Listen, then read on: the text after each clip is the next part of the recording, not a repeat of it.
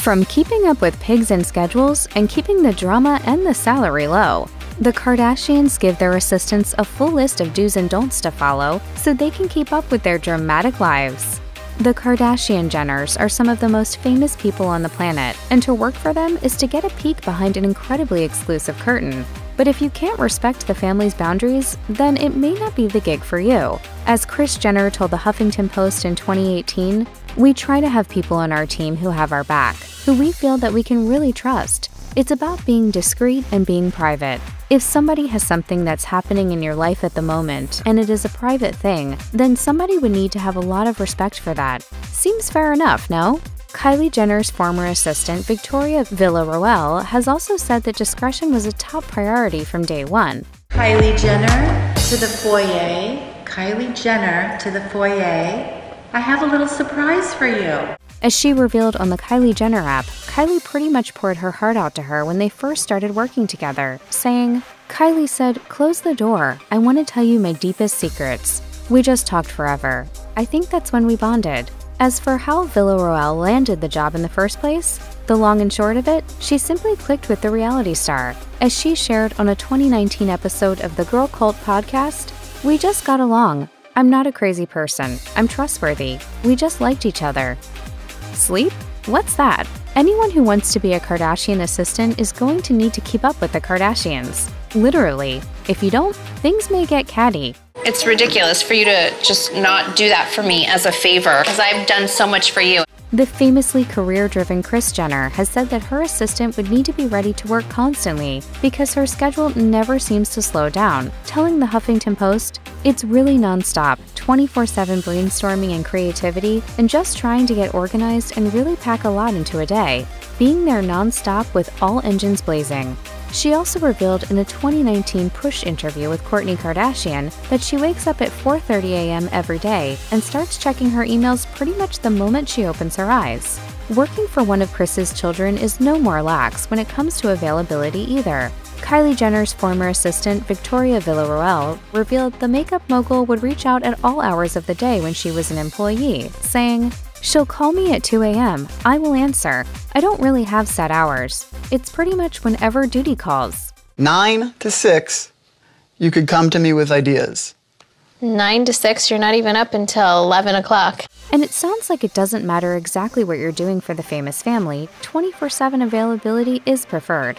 Jessica DeFino told Vice in 2022 that when she was an assistant on the family's apps, she was apparently expected to work hard at all hours of the day to make sure everything ran smoothly, adding, days, nights, holidays, weekends, whenever and wherever I was needed. If there's one thing the Kardashian Jenners already have enough of, it's drama. I bought her a career. It's just lame to not do me a favor.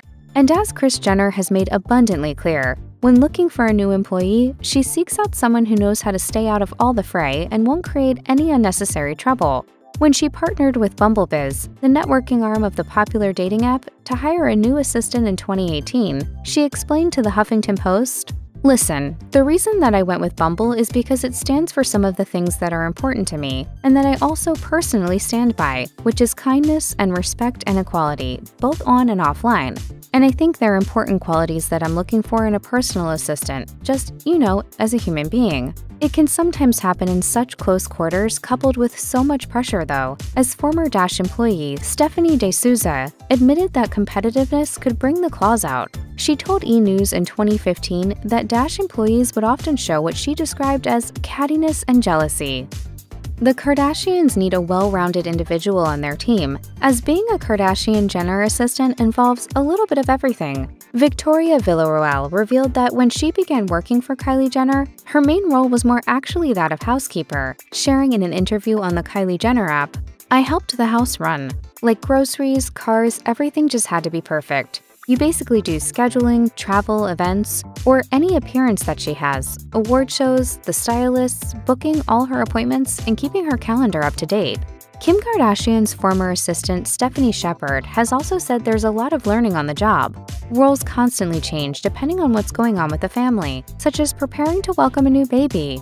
As Shepard recalled to Refinery 29 in 2017, Shepard played a big role in helping Kim prior to daughter North West's birth, saying, I was doing her whole schedule, doing her laundry, booking travel, putting the stroller together, and all of these things. Khloe Kardashian found out she needed to be a jack of all trades the hard way when she playfully took on the role of her mom's assistant during a season 18 episode of Keeping Up with the Kardashians. From scanning documents to sampling all the office snacks, Khloe took on whatever Kris threw her way, quipping, I'll do it with a smile and my little assistant shoes on. To borrow a line from the hit single by the Real Housewives of Atlanta alum Kim Zolciak Biermann, don't be tardy for the party. Not when it comes to the Kardashians, at least. It turns out the family are no fans of employees who don't have good timekeeping skills, as Love and Hip Hop star Erica Mena has shared. Mena worked for the Kardashian sisters in their Miami Dash store before becoming a reality television star in her own right, and noted she butted heads with Khloe Kardashian over her punctuality, explaining to Vlad TV, I was late a few times and Khloe wasn't having it. I think Khloe took more offense to me being late and thought that since I was friends with Kourtney Kardashian, I was taking advantage of it, and that wasn't really the situation. The Kardashians have also spoken out about how much they hate lateness a few times before, including when Kim Kardashian told Interview in September 2022 that not being punctual is the thing that stresses her out more than anything else, confessing, I hate being late. That's the one thing where I'm just like, oh my god, I need my CBD pen. I'm freaking the f out. You should be used to that.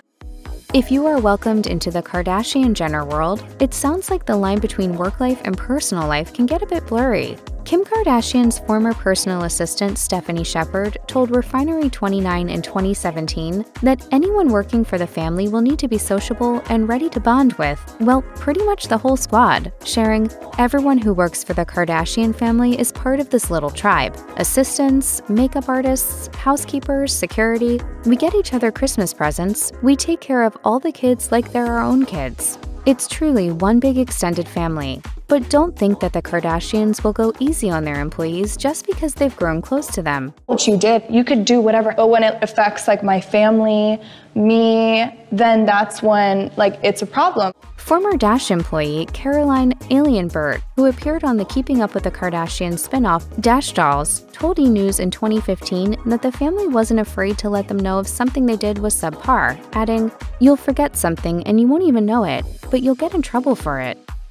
Former assistant Stephanie Shepard has said that working with the Kardashians isn't necessarily always as fun and exciting as it may appear on TV. When she was still on Kim Kardashian's payroll, she had a lot of tedious behind the scenes work to tackle. Needless to say, there is quite a bit going on in the Kardashian Jenner empire, and it takes a village to keep things running smoothly. I need to make sure you guys think my dress is cute.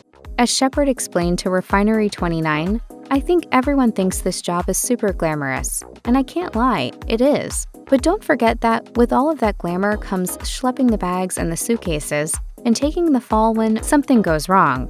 But while a Kardashian assistant is likely to be found working on the logistics of the glamorous events behind the scenes, that doesn't mean you get to slack in the fashion department. Former Dash Doll stars Durrani Popal and Stephanie D'Souza told E! News in 2015 that they were expected to maintain a presentable look while they worked at the sisters' Dash stores because they were faces of the glam brand.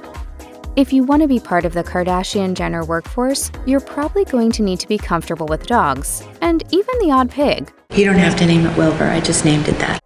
A source told Radar Online in 2016 that the family's assistants are often required to take care of their animals, as well as their more standard everyday tasks, claiming, Every time anyone in the family gets a pet, the assistant has to take care of them. Walking dogs, changing kitty litter, potty training, it's a huge burden for the rest of the family, so the job falls on the assistant to do all the dirty work. The Kardashian Jenner family has seen a lot of dogs over the years. Kylie Jenner's boyfriend Travis Scott couldn't even remember the names of her four dogs in a July 2018 GQ interview. But it's not just canines that Kardashian assistants should be able to take care of. As a source told E! News in 2012, Kim Kardashian ended up giving a kitten named Mercy to Khloe Kardashian's assistant, Sydney Hitchcock. Evidently, Kim realized she was allergic to the cat after receiving Mercy as a gift from then husband Kanye West. Sadly, Mercy died shortly afterwards. I have the best advice for women in business get your up and work. If you're working for the Kardashians or Jenners, you maybe shouldn't expect to be paid like one. Jessica DeFino, who was an assistant editor for Kardashian Jenner official apps, claimed to Vice in 2022 that her pay was apparently so paltry that there were times she couldn't afford gas, confessing, The wages were low and laughable in LA, especially considering my experience.